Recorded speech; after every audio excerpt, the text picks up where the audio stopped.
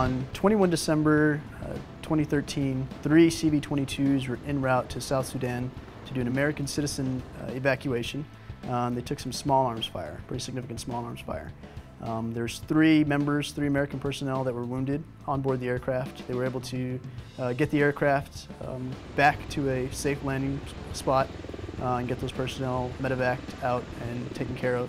Um, that really drew attention to the lack of ballistic protection on board the aircraft. We got a requirement from um, Air Force Special Operations Command to provide ballistic panels for V-22, CV-22. For the Air Force, would have to be provided to the aircraft in about 180 days. We were tasked to help get the panels into the aircraft and who that the Air Force would have to speak to in order to do that. We're just the cargo team here at Pax River. There's a new team on base called Airworks. Genesis behind it is, is to give immediate warfighter support. They were contacted to find ballistic personnel on base and they kind of pointed us in the right direction. Airworks is the branding of our current capabilities, but it takes that branding a step further by providing programmatic and project management oversight. Airworks is capable of bringing the right people together at the right time to get things done quickly. We have a lot of predetermined processes in place that have been defined that when we need to move quickly, we're able to move quickly. We understand what the barriers are.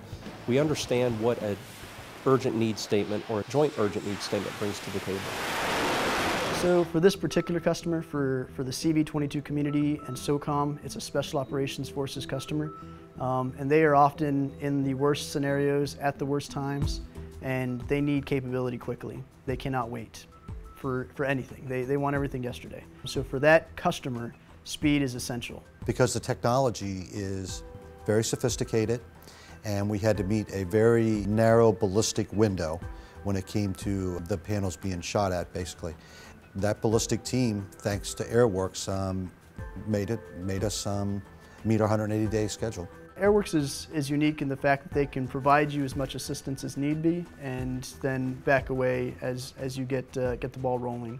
So they're really there as a catalyst to get things moving for you, get you on the right path, get you working with the right people, and once you've got the ball rolling, they've handed the baton off, and as you need their help, they can, they're there to, to provide that as well. It formalizes a process that typically didn't have a structure. We document from beginning to end what happened. Uh, we collect metrics so that we can learn and benefit from the goodness that happens in a lot of these projects, but we can also learn from things that did not work well.